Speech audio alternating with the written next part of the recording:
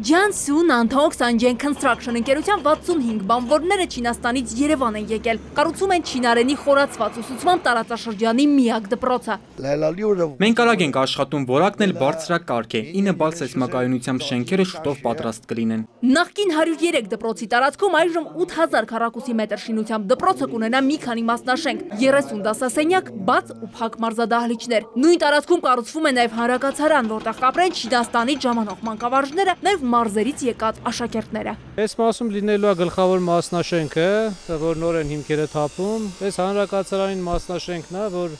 Երեք հարկից է լինելու արդեն երրորդ հարկի վրա են աշխատում։ Հայ-չինական կրթական հարաբերությունների ամենախոշորածավալ նախագիծը իրականացվում է երկու երկրների կառավարությունների միջև 2012 թվականին կնքված տեխնիկատնտեսական գործակցության պայմանագրով։ Չինաստանի կառավարությունը 12 միլիոն դոլարի ներդրում է անում, Հայաստանն էլ ազատում է բոլոր հարկերից։ Խոսքը 1 միլիարդ 200 միլիոն դրամի մասին է։ Դպրոցը նախատեսվելու է 600 աշակերտի համար Նախատեսում ենք դպրոցը լինի 5-րդ դասարանից սկսած մինչև 12-րդ դասարան, այսինքն վարժարանի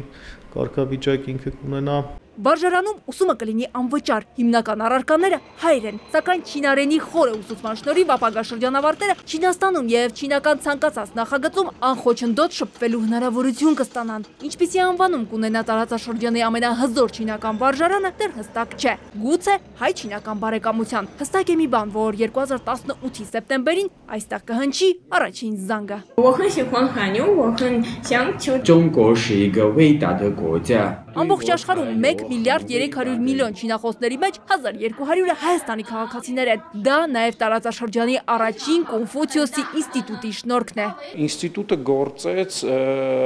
այն պատճառով, որովհետև Չինաստանը Հայաստանի հանդեպ ունի վստահություն։ Արդեն 8 տարի Երևանում գործող ինստիտուտի մանկավարժները լեզվի եւ չինական մշակույթի նրբությունները տարածում են նաև հայաստանյան դպրոցներում։ Անցած տարի Կոնֆուցիոսի 511 ինստիտուտների շարքում հայաստանյան մասնաճյուղը ճանաչվել է լավագույնը։ Տարիքային սահմանափակում մեզ մոտ սովորելու համար չկա։